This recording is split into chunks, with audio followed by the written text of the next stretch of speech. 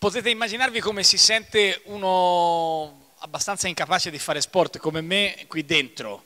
Già ero nell'ufficio di Giovanni prima e mi sono messo a giocare con tutti i palloni, che è l'ufficio più bello, è come per un bambino stare a Disneyland, stare nel cuore della, della, del, dello sport, dei risultati, poi pensare a, a, quello che avete fatto e che state facendo. Con qualcuno di voi ci siamo incontrati in questo primo anno di azione di attività del, del governo e insomma le, le, le, racchette che mi avete regalato sono la racchetta che mi avete ha fatto una finuccia, nel senso che l'incapacità è stata resa evidente e plastica fin dalla posa, ma insomma per me è un momento di gioia anche personale, ricordare quel 2-0-1 che era un po' come il 1972 di Mennea per, per i, due, i, due, record ehm, che erano degli anni diciamo quando ero piccolino io, sì, lei dopo però era negli anni, Mennea era negli anni 80, mettiamola così, anni 80, vabbè, stavo per fare la gaffa, però per me, l'ho già fatta, non è un problema.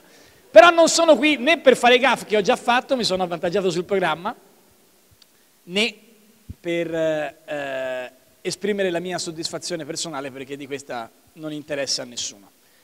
Eh, sono qui come Presidente del Consiglio innanzitutto per eh, omaggiare gli atleti e le atlete per quello che hanno fatto a partire da Federica e da Alex che hanno avuto un, eh, dei, dei, risultati straordinari non solo quest'anno ma anche quest'anno. Eh, il, il, triathlon di, di, di, Alex credo che non l'avevi fatto neanche in motorino io, in motoscafo, visto il, il tempo che ci, ha, che ci, ha, impiegato, i risultati di Federica come leader della squadra di nuoto, di quello straordinario campionato che ci ha eh, inorgoglito in, questo, in quest'estate, sono sotto gli occhi di tutti, ma direi davvero di tanti di voi che sono qui.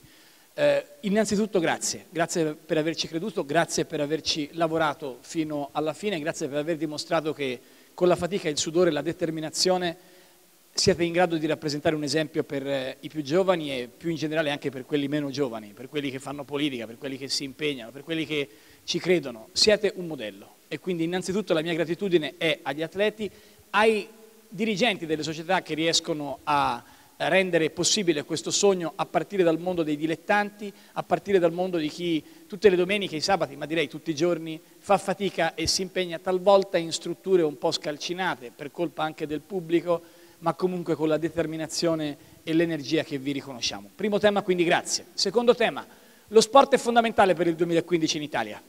Non voglio fare annunci roboanti adesso, quello lo faccio dopo. Eh, sul 2015 noi abbiamo un Expo che vuol dire stile di vita, Giovanni lo, lo, lo sa meglio di tanti altri perché ci ha insistito. Parlare di stile di vita significa ragionare di come interveniamo nelle scuole, di come parliamo nelle nostre periferie, di come interveniamo quotidianamente. Lo sport è uno straordinario strumento per affrontare le più grandi questioni politiche con la P maiuscola. Da come viviamo il rapporto con la sanità, come stiamo dentro le nostre città. Abbiamo quindi bisogno di rendere sempre più forte il legame tra amministrazione pubblica e sport, partendo dalla grande riforma della scuola che io vorrei incentivasse, come è già stato fatto con il protocollo che Giovanni ha firmato con Graziano Del Rio e il ministro Giannini nei, nel mese di settembre, sempre di più lo sport dentro la scuola. Forse su questo siamo ancora un passo indietro, dobbiamo fare un po' di più, dobbiamo riuscire a rendere lo sport più presente dentro dentro la scuola e credo che ci siano le condizioni per farlo a condizione di metterci in gioco innanzitutto noi. Quindi è un impegno, non è un eh, generico proclama, direi che il prossimo anno quando arriviamo alla cerimonia della premiazione di fine 2015 vediamo che passi in avanti abbiamo fatto molto concretamente. Terzo e ultimo punto, prima di eh, salutarvi, c'è però bisogno anche di aiutare lo sport ad aiutare l'Italia. Voi avete vinto medaglie, avete puntato all'oro, qualcuno si è fermato a un passo dalla medaglia, penso alla straordinaria emozione che ha suscitato la nazionale di pallavolo o penso a chi si è fermato a un soffio dal traguardo, ma avete comunque vinto la medaglia d'oro della determinazione, del coraggio, dell'energia. Avete ottenuto in quest'anno risultati straordinari. Il nostro paese troppo spesso sembra rassegnato, sembra aver ridotto la propria ambizione. Io non dico che non si possa perdere, vedo i pugili e penso a Leonard Bundu che qualche ora fa eh, si è fermato anche lui a un passo dal, dal, dal trionfo a Las Vegas, eh, credo, o comunque in America. Può succedere di perdere, ma quello che non è accettabile è che non ci si provi. Quello che non è accettabile è che rannicchiati rinunciamo a giocarci la partita. E allora l'Italia è un paese che ha tutte le condizioni per ambire alla medaglia d'oro, ha tutte le condizioni per mettersi in gioco, non è un fatto politico di un colore o dell'altro, sono le istituzioni che devono tornare a puntare in alto e se ci sono i problemi li dobbiamo affrontare e dobbiamo risolverli senza mettere ai problemi di impedirci di sognare, di impedirci di provare. Qualsiasi atleta quando parte sa che non sarà facile. Se dovesse aspettare la facilità per provarci non farebbe l'atleta. Bene, con lo stesso spirito annuncio che assieme al CONI saremo a fianco a fianco perché da qui al settembre del 2015 l'Italia presenti la propria candidatura ai Giochi Olimpici del 2024. Una candidatura che ci riempie il cuore di emozione, ci riempie il cuore di orgoglio, ci riempie il cuore di difficoltà. Avremo la struttura più all'avanguardia del mondo perché il Made in Italy è anche questo. Saremo all'avanguardia su tutte le strutture tecniche dal punto di vista del controllo della spesa. Saremo all'avanguardia nel progetto che ovviamente sarà incentrato su Roma, su Roma Capitale, come ovvio che sia. Poi toccherà al CONI e alla squadra tecnica che Giovanni con la sua qualità sicuramente metterà in piedi per riuscire anche ad allargare rispetto alla proposta che è uscita dall'ultimo comitato del CIO di, di, di, della settimana scorsa. Noi immaginiamo di poter avere un raggio d'azione che consenta alla candidatura di essere credibile e di vincere, perché non, con tutto il rispetto per De Coubertin non facciamo questa candidatura per partecipare, questa candidatura la facciamo per vincere e ci metteremo insieme sicuramente le città che più possono aiutare in questo progetto a partire dal cerchio vicino a Roma, quindi Firenze, Napoli e la Sardegna.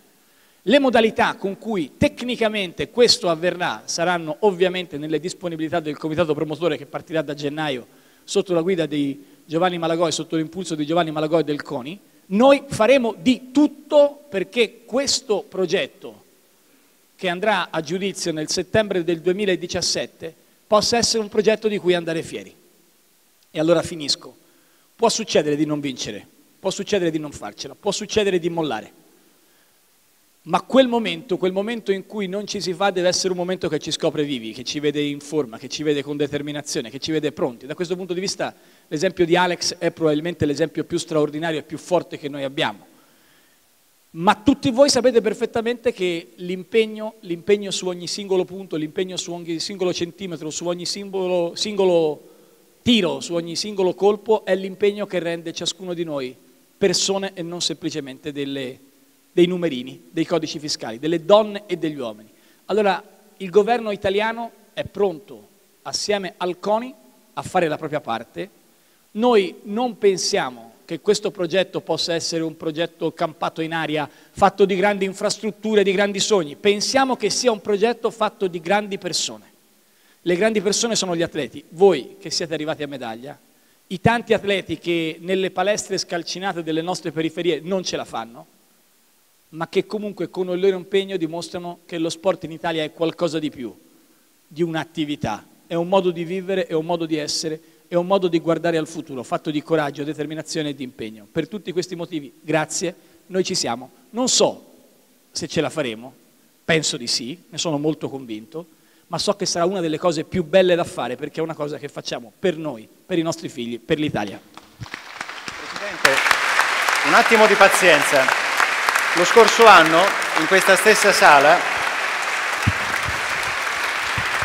lo scorso anno in questa stessa sala il ministro Del Rio, dovendosi paragonare o prendendo come modello uno sportivo, disse Gaetano Scirea. Lei come sportivo che esempio ha, che modello ha o quantomeno chi avrebbe voluto essere. Non mi dica Bebe Bichila, comunque. Beh, se devo, se devo, dirla anche soltanto per recuperare la gaff di prima con uh, Sara Simone, beh, ricorderei, visto che pensiamo a chi non è più con noi, mi piacerebbe ricordare Pietro Mennea, nel senso che le Olimpiadi sono Olimpiadi fatte anche da persone che hanno vinto la medaglia d'oro.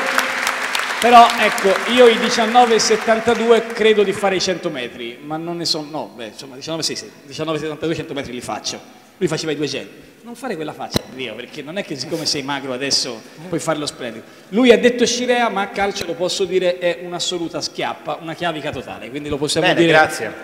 Grazie Presidente.